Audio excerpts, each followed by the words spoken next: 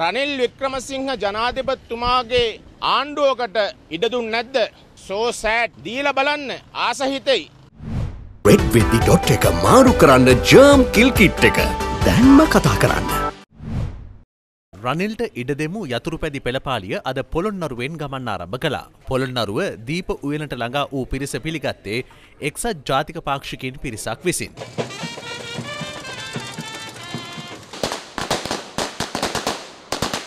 අපි අද හැමෝටම වැටහෙන්න ඕන හැමෝටම අවබෝධ වෙන්න ඕන ඇයි අපි රනිල්ට ඉඩදිය යුත්තේ කියලා. රනිල් වික්‍රමසිංහ නායකයා මේ රට බාරගත්තේ බංකොලොත් වෙච්ච රටක් හැටියට. ලෝකෙ ප්‍රතික්ෂේප කරපු රටක් හැටියට. හැබැයි එතුමාට අවුරුදු එකහමාරක් යනකොට පුළුවන් වුණා ලෝකෙම පිළිගත්ත රාජ්‍යයක් බවට මේක පත් කරන්න. ලෝකෙම පිළිගත්ත රටක් බවට පත් කරගන්න. පසුව පිරිස මින්නේරිය නගරයට ළඟා වුණා.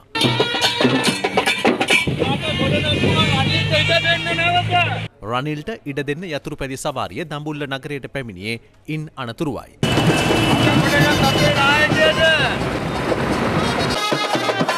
රනිල් වික්‍රමසිංහ ජනාධිපතිතුමාගේ ආණ්ඩුවකට ඉඩදුන් නැද්ද සෝසෑට් දීල බලන්න ආසහිතෙයි රනිල් වික්‍රමසිංහ මැත්තුමා මේ වන විට ලංකාව යතතත්වර පත්වෙලා තිනවා. පිරිස අද කුරුණෑගල දක්වා ගමන් කිරීමට නියමිත අතර හෙට කොළඹ පැවැත්වන එක්සත් ජාතික පක්ෂයේ මෑතින රැලිය දක්වා ගමන් කිරීමෙන් එය අවසන් කිරීමට නියමිතයි.